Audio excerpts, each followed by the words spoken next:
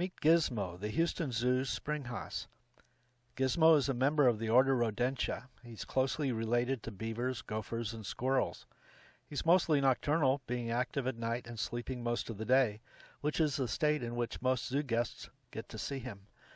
Here are a couple of pictures of Gizmo sleeping in the exhibit. This is how I often see him when I visit.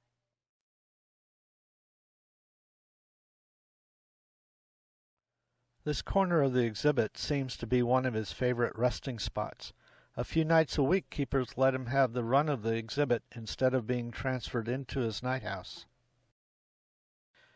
In the wild, springhaas can be found in southeastern Africa feeding on plant matter. Like other animals in his exhibit, he spends his awake time looking for and finding food.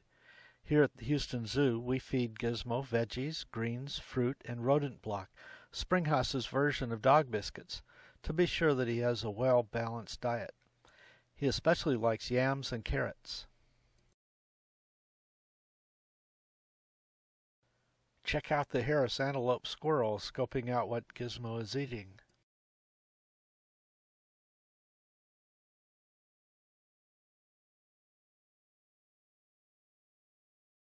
Now here's something even the Natural Encounters supervisor has never seen Gizmo do. Oh, I've never seen him do that. This could be really interesting. He's now in the armadillo's nest area. Did he make it all the way through? Keep an eye on the right end of the log as Gizmo exits on the left. Gizmo can be found most every day in the Drylands exhibit of the Natural Encounters building at Houston Zoo. He shares the exhibit with the Harris antelope squirrels, vulturine guinea fowl, a crowned hornbill, a three-banded armadillo, a rock hyrax, and a leopard tortoise.